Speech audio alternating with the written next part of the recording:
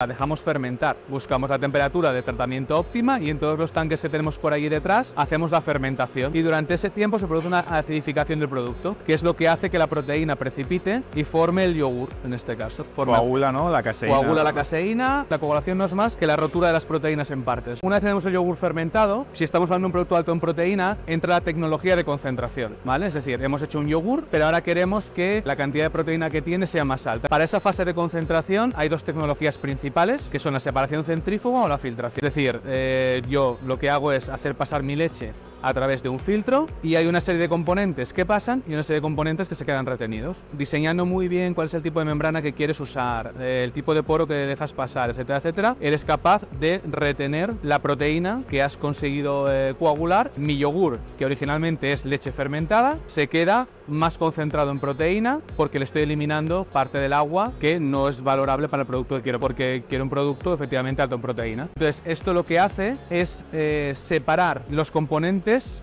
por diferencias de densidad. Con el flujo que introduces, con la velocidad de rotación que aplicas eh, y una serie de parámetros de diseño del, del propio equipo, consigues concentrar igualmente en proteína el, el, producto, el yogur que tú has fermentado y separas un suero que, pues eso, que contiene prácticamente agua y algunas eh, componentes eh, que por densidad no son capaces de irse fuera. A nivel de productividad o de cuál es el más efectivo, podemos decir, para extraer la proteína o para concentrarla, eh, ¿son parejos o el uso de uno u otro depende más que nada de las condiciones de la fábrica, ¿no? del tipo de tecnología por el que se quiera... Depende mucho efectivamente del tipo de, eh, del tipo de tecnología que quieras usar. Normalmente digamos que la tecnología mayoritaria es la separación centrífuga porque tiene mucha historia aparte, ¿vale? Es una tecnología muy robusta eh, y, y, digamos que eh, económicamente es, es, muy rentable porque es un equipo muy fijo. La filtración siempre lleva costes asociados de cambios de membranas, limpiezas más complejas, etcétera, etcétera. Pero al final el, decidir una tecnología u otra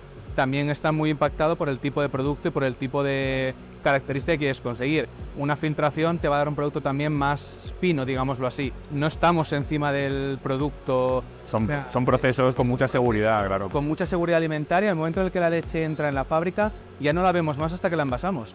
Que realmente eh, está protegida, está cuidada, está en un entorno con un ambiente estéril para que no se contamine. Claro, todo esto también condiciona el hecho de, verlo. Mira, el envasado normalmente lo hacemos aquí, verás, es muy manual.